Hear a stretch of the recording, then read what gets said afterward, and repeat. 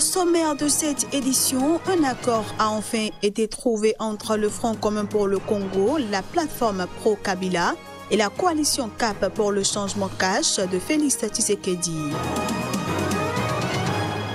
L'ONU a réclamé ce mardi une enquête sur la mort de cinq lycéens tués par balle la veille au Soudan lors d'une manifestation contre les pénuries de pain et de carburant. Et puis le bilan d'une attaque du groupe djihadiste Boko Haram le week-end écoulé dans le nord-est du Nigeria a grimpé à 65 morts.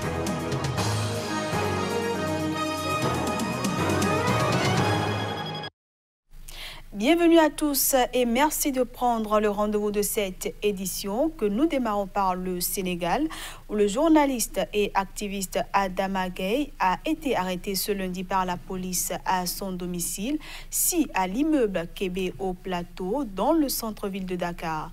Connu pour ses écrits virulents contre le régime du président Macky Sall, Adama a eu le temps de partager un message sur les réseaux sociaux avant d'être amené par les éléments de la division des investigations criminelles. Cette interpellation intervient après une rencontre qu'il a eue avec Maître Abdoulaye Wade, l'ex-président sénégalais. Mais les motifs de l'arrestation du journaliste et analyste politique n'ont pas été donnés. En République démocratique du Congo, les choses se précisent pour la formation du premier gouvernement de l'après-Kabila, l'équipe que devra diriger Sylvestre Ilunga et Lukamba. Majoritaire au Parlement, les partisans de l'ex-président raflent la plus grosse part du gâteau dans le futur gouvernement de coalition. Un accord de partage de pouvoir entre le président congolais Félix Tshisekedi et son prédécesseur a finalement été trouvé. D'après cet accord, les partisans de l'ex-président Joseph Kabila auront 42 postes au sein du futur gouvernement. Leurs alliés, les partisans du président Félix Tshisekedi, se voient attribuer 23 postes ministériels. Au total, c'est donc un gouvernement de 65 membres qui devrait être publié dans les prochains jours. L'attente de cet accord a tenu en haleine les Congolais qui, six mois après l'investiture du président Félix Tshisekedi, n'ont toujours pas trouvé de gouvernement. Le Premier ministre Sylvestre Ilunkamba a bien été désigné il y a deux mois. Si un programme commun de gouvernement a été annoncé et un comité de suivi pour la mise en œuvre de l'accord a été scié, rien n'a par contre été révélé sur l'attribution des différents portefeuilles aux deux forces de cette coalition qui se dit déterminée d'éradiquer la pauvreté indigne d'un pays comme la RDC. Leader du parti historique de l'opposition, Félix Tshisekedi a été déclaré vainqueur de la présidentielle du 30 décembre dernier. Mais les partisans de l'ex-président Joseph Kabila ont conservé une écrasante majorité parlementaire. Pour gouverner, le président Tshisekedi n'a eu d'autre choix que de composer avec le parti de son prédécesseur. Cette situation est inédite dans l'histoire de la RDC. Depuis son indépendance, le pays n'avait jamais connu une passation de pouvoir pacifique entre deux chefs d'État élus. Rencontre ce lundi à Bruxelles de Laurent Gbagbo et Henri Conan C'est la première fois que les deux anciens présidents ivoiriens, aujourd'hui dans l'opposition, se sont vus depuis 2010 et à un an de la présidentielle de 2020. Le président du PDCI, Henri Conan Bédier, a rendu visite à Laurent Gbagbo, président du FPI, Front Populaire Ivoirien, son homologue ancien président de la République de Côte d'Ivoire, qui attend en Belgique une décision de la Cour pénale internationale. Les présidents se sont réjouis de cette première rencontre depuis la fin de la crise post-électorale, selon un communiqué signé des deux partis politiques. Henri Conan Bédier avait apporté son soutien à Alassane Ouattara contre Laurent Gbagbo au deuxième tour de la présidentielle de 2010. Il a été un allié du président Ouattara, son parti participant activement à la coalition au pouvoir jusqu'en 2018. Cette coalition a explosé parce que le président Bédier estimait que la coalition devait soutenir un candidat du PDCI en 2020. Henri Conan Bédier s'est particulièrement réjoui de l'acquittement du président Laurent Gbagbo et lui a vivement souhaité un retour rapide en Côte d'Ivoire. Acquitté par la Cour pénale internationale, Gbagbo est actuellement en liberté conditionnelle à Bruxelles en attendant un éventuel procès en appel. Les deux anciens chefs d'État ont demandé la libération de tous les prisonniers politiques, civils et militaires et le retour en sécurité de tous les exilés. Je le disais en titre, l'ONU a réclamé ce mardi une enquête sur la mort de cinq lycéens tués par balle au Soudan. C'était lors d'une manifestation contre les pénuries de pain et de carburant avant de nouvelles discussions prévues entre militaires et meneurs de la contestation.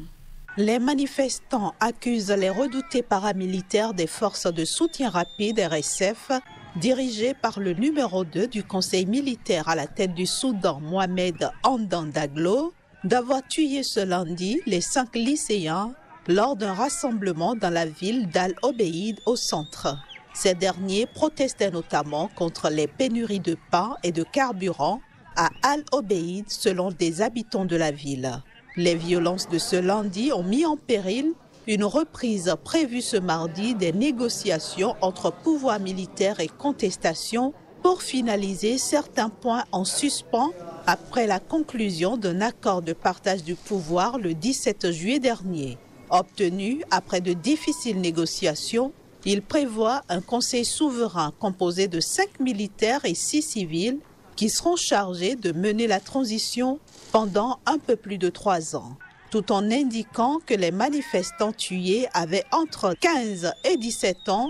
Le Fonds des Nations Unies pour l'enfance UNICEF a appelé les autorités à enquêter et à traduire en justice tous les auteurs de violences contre des enfants.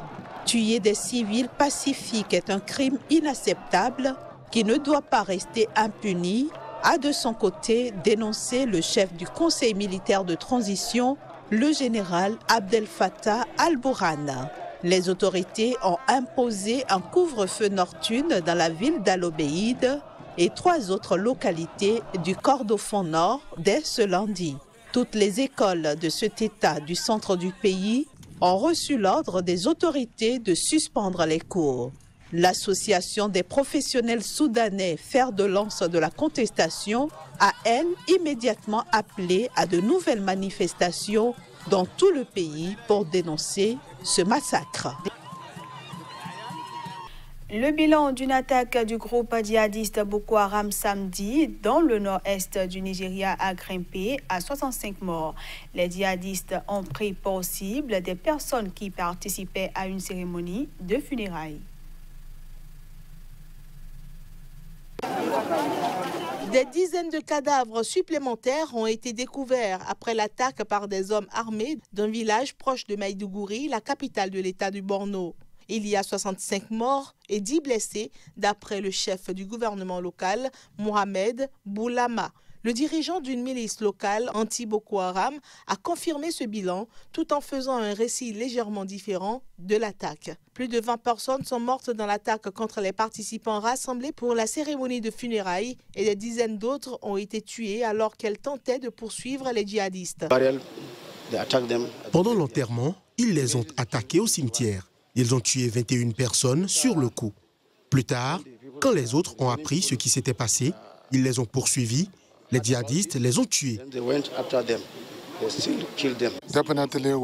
Définitivement, nous venons simplement ici, puis nous rentrons. Nous allons tenir une réunion de sécurité pour discuter de la voie à suivre.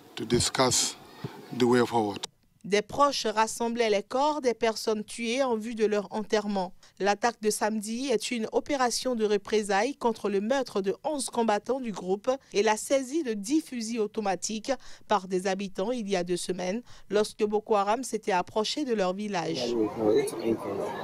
Coupe du Monde 2022, le tirage au sort au Caire pour les matchs de qualification des équipes de la CAF a été effectué. Ce rendez-vous du Cuiron aura lieu au Qatar. Uh, uh, Je pense que c'est un tirage au sort clair, sans difficulté. Ce qui est aussi intéressant est que nous avons le Burundi et la Tanzanie, deux équipes qui viennent juste de participer à la Coupe d'Afrique, et aussi le derby entre le Libéria et la Sierra Leone. Deux grands joueurs sont sortis de ces équipes. Son Excellence le président du Libéria, George Weah, et Mohamed Kalon, qui a joué pour la Sierra Leone. il n'y a plus de petites équipes, donc c'est déjà le signal que tout le monde doit très bien se préparer, même dans le classement. Si vous êtes en haut et qu'il y a une équipe moins bien classée, cela ne signifie pas que vous serez automatiquement qualifié. Vous devez jouer au football. Vous devez jouer sur le terrain. C'est la loi du football et j'ai hâte d'avoir d'autres surprises. Uh, this is uh, the law of football and uh, I'm looking forward for, for other surprises. On passe cette fois-ci à la revue de presse Afrique.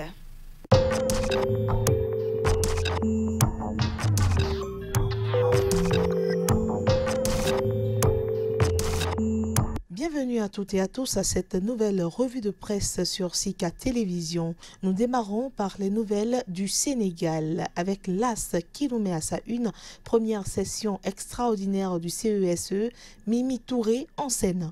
Avec enquête, nous pouvons lire à la première page dossier corruption dans la circulation, priorité aux raquettes. Puis Sud Quotidien, évaluation de l'acte 3 et gestion de l'assiette foncière dans la région de Dakar, les maires soldent leur compte. Le quotidien, situation sociopolitique, le CES salue le dialogue politique mais s'inquiète de la fracture sociale. L'Express du Faso nous propose TAC Ouagadougou 2019, le Premier ministre ivoirien en place avec sa délégation à la une du pays se laisse lire Nofu Ouedraogo, le CDP et le MPP ne sont pas des partis. Cap sur la Côte d'Ivoire à présent avec l'essor. Rencontre Gbagbo Bédier à Bruxelles, les Ivoiriens toujours attachés à Ouattara. Le sursaut, meeting d'hommage du RHDP au président de la République, ce qui a failli tout gâter à Ferquet. L'intelligent d'Abidjan, plateforme de l'opposition contre le RHDP à Bruxelles, rencontre sans photo publique, Bédier traité comme tous les autres visiteurs par Gbagbo. Le nouveau réveil rencontre Bédier et Gbagbo hier, les nouvelles fraîches de Bruxelles. Bédier et Gbagbo pour la nouvelle Côte d'Ivoire réconciliée. Cameroun Tribune pour ouvrir le bal des nouvelles du Cameroun, émergence à l'horizon 2035, les propositions du secteur privé. L'économie, culture de rente, le CICC déclare la perte de 400 000 tonnes de semences de cacao. Le jour, diaspora, ce qu'ils se sont dit à Munich. Puis mutation, Cannes 2021, assurance sans garantie. Le Togo à présent avec Togo Matin, l'opposition togolaise. Est-ce vraiment une famille comme l'affirme le docteur Georges William Quesson Résultat du concours de recrutement du personnel médical, le gouvernement joint les actes à la parole. Et avec liberté, nous pouvons lire mort de deux présumés braqueurs, la version de la police démontée par des proches des victimes. Le quotidien numérique Burundi, la reprise des relations avec la France passe mal au sein de l'opposition. RDC, le ministre de la Santé donne les raisons de sa démission. Ce sera tout donc pour ce numéro de la revue de presse africaine. Mesdames et messieurs, merci d'avoir été des nôtres.